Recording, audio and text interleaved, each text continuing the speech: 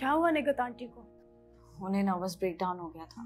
काफ़ी तबीयत खराब थी हॉस्पिटलाइज रही हैं वो। इतना कुछ हो गया आप दोनों ने मुझे बताया भी नहीं। यार तुम्हारी कंडीशन ऐसी थी कि ना बताना मुनासिब लगा और ना तुम्हें लेके जाना। कैसी बातें कर रही हो फिजा?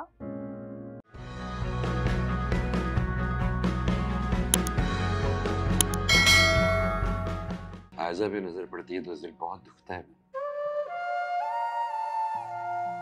परेशान हो जाता हूँ मेरे समझ में नहीं आ रहा कि क्या करूँ उसके लिए। अब वो अच्छा बुरा वक्त आता रहता है। आप फ़िक्र नहीं करें अल्लाह ने चाहा तो सब ठीक हो जाएगा। बल्कि मैं तो सोच रही थी कि हमें उसे निगत आंटी के बारे में बता देना चाहिए। वो बहू है उनकी आयादत के लिए जाना चाहिए उसे। आयादत? क्या हुआ निगत आंटी को? उन्हें नर्वस ब्रेकडाउन हो गया था। काफ़ी तबीयत खराब थी हॉस्पिटलाइज रही हैं वो।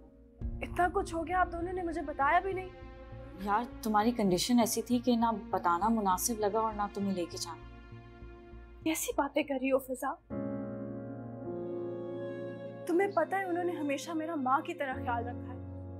क्या सोच रही होंगी वो मेरे बारे में कि मैंने मुड़ के उनका हाल भी नहीं पूछा? अब वो मुझे लेके चले उनके पास। लेकिन अबू की तो अभी क्लाइंट से मीटिंग है। तो ठीक है मैं खुद चली जाती हूँ। नहीं। मीटिंग कैंसिल कर देता हूँ मैं। नहीं अबू बुरा इंप्रेशन पड़ेगा वो माइंड कर जाएँगे। मैं ले जाती हूँ उसे। आप जाए मीटिंग कर लें बेटा ख्याल करना तुम।